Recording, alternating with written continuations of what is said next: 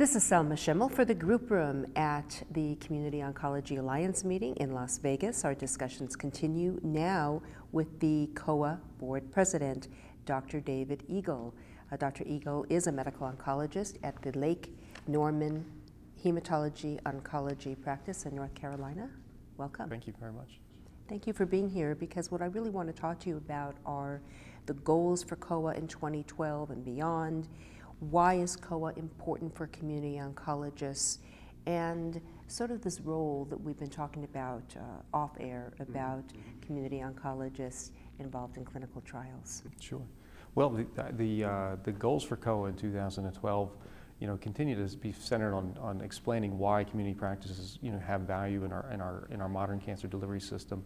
You know, we treat probably about 80% of the patients, cancer patients in the United States, and, and I think it's underappreciated, you know, how, how much a part of the fabric of cancer care we are. So we first need to explain that to, to, to the, the public. Um, beyond that, you know, we really need to kind of protect the delivery system for cancer patients.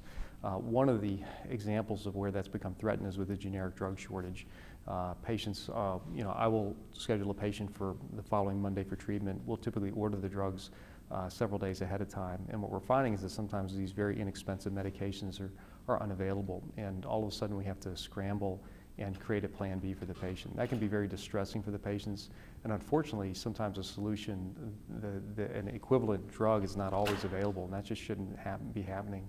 Um, the generic drugs are, represent about 2% of the total cancer drug spending, uh, and they really shouldn't be in, part, in, in, short supply. So that's an example of the types of things that we uh, get involved in and one of our top priorities this year. Uh, the other goals this year uh, will be to, to continue to, to, look towards reimbursement reform in a way that, that supports community cancer programs. Uh, there's been a large wave of, of, closures of cancer programs over the past several years uh, and mergers into larger entities, and, and I think really without any net benefit to the patients at all. So I think that needs to be looked at as well too. Um, so those are two of the things that, we're, we're, that are top of our priority list this year. In speaking with your executive director a bit ago, we talked about the role of patients and the importance of advocacy and the mm-hmm. kind of collaboration that the physician community really does need now to establish and enhance mm-hmm with patients and advocates. Can you talk about that a little bit more? I think patients have the strongest voice in terms of protecting the cancer delivery system. The people who have been through it know it the best and they understand the value. It's hard as a, an oncologist to ever you know, really ask any more of our patients, and certainly patients under active treatment are not in a position where they can really be advocates. I think it's either their family members or cancer survivors who are in the best position to do that. Clinical trials are very expensive to conduct clinical trials in a community setting are, for some doctors, probably cost prohibitive.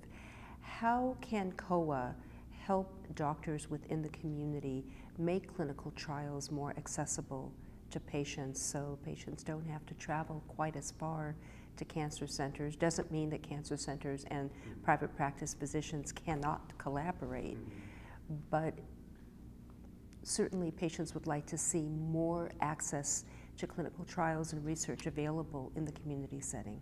That question just came up at the conference uh, 45 minutes ago, and I don't think there's any easy answers for that.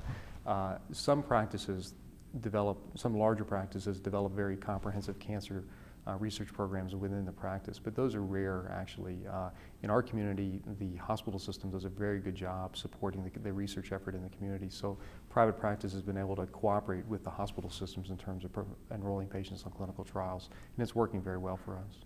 Dr. Eagle, what is the message you would like your colleagues in medical oncology to, to know and, hear from you now in order for them to become more involved in COA and why they need to become involved and how do they become involved? Sure.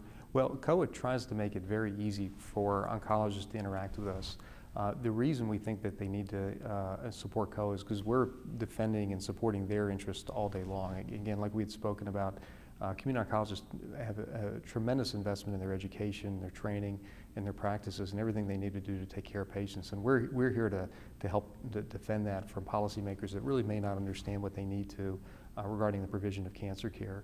Uh, our website has, has a site that says immediate action needed, so any physician can get on any time and find out what those current advocacy issues are that need to, uh, that they can participate in. And it's, it's always just a, a, a few simple steps. Uh, that oncologists can do to actually make a difference in terms of how their practice life is. That, that is a struggle for uh, oncologists, which is they don't know how to interact with the system, and you really can't do it as an isolated physician. You have to be part of a, a larger effort to, be, to make it worthwhile. So is COA a membership organization? We are a membership organization, but, uh, and we need the support of members to operate. Um, but whether you're a member or not, you can always go on the website and take some of the action steps that we recommend to, to help uh, advocate for certain issues. Is there criteria for a physician practice to become a member? There, there really isn't strict criteria. I think if, as long as you're a community practice and you have an interest in participating with COA, uh, that's, that's really, we're interested in, we're interested in helping anybody who's, who's uh, has a community practice or trying to support. And does COA have an active relationship with ASCO? Yeah, COA has, we have a, a very good relationship with ASCO because we all need to be working together and I think it's critical that, that all of the cancer organizations work in a coordinated fashion because we're really all working on the same problems. And so we, we do, it's very important that everybody works together in, in, uh, in close format these days. Thank you, Dr. David Eagle, COA board president. You're a medical oncologist, Lake Norman Hematology Oncology in North Carolina. Great. Thank you for having me. Thank you very much.